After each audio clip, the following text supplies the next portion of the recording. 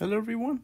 This problem is asking for replacing the load by an equivalent resultant force and specify its location on the beam measured from point A.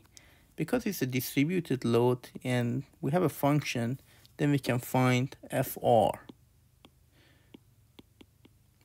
So FR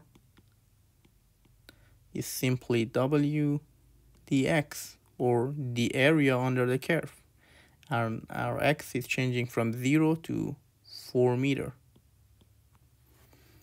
So my function here is 2.5 x cubed dx. So x cubed would be 2.5 x to the fourth divided by 4 replacing 0 and 4. So FR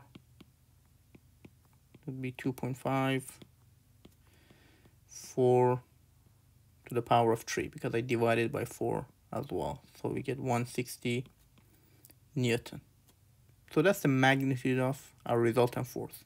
Now we want to know where is acting, x bar. So the equation for, for x bar was w times x. So here we multiply by x divided by w dx. This component in the denominator is simply fr that we already found.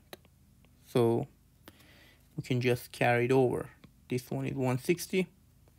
wx, w is 2.5 x cubed times x, so that would be x to the fourth.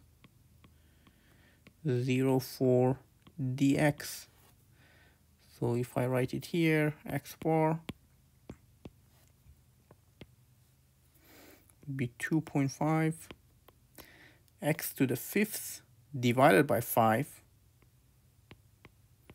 and then we have 160 in the denominator.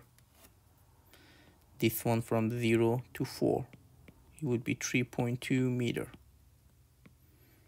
And it's always good to look at the problem to see if the result that we got makes sense or not. So x bar would be 3.2 meter, which is reasonable given uh, the problem.